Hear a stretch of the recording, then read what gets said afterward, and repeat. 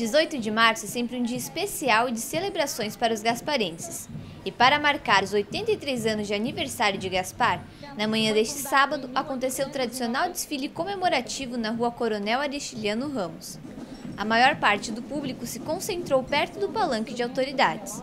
O desfile contou com a participação de cerca de 40 grupos e entidades.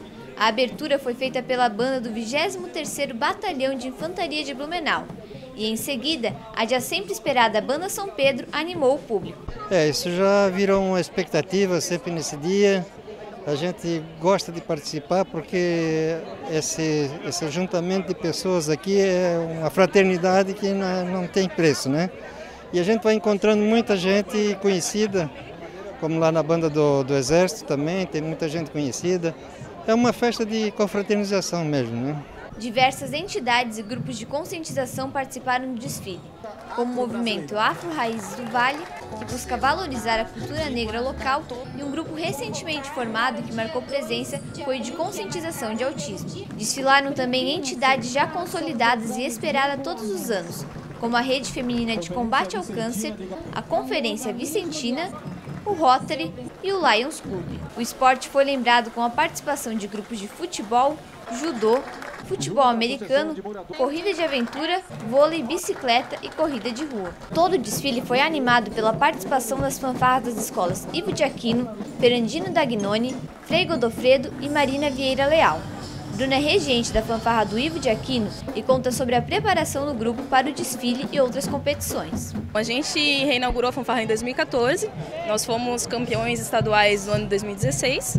A gente está vindo aqui para mais um aniversário de Gaspar e tamo, estamos constantemente nos preparando. Pretendemos ir para o Nacional esse ano e viemos prestigiar, muito bem organizado e bacana esse momento. O desfile contou com a participação de grupos já tradicionais em Gaspar, como Gaspareto, que resgata a cultura italiana, e o Coro Misto Santa Cecília, que foi fundado há 119 anos. Participaram também representantes das escolas e CDIs, que trouxeram alunos, professores e funcionários para lembrar das instituições de ensino.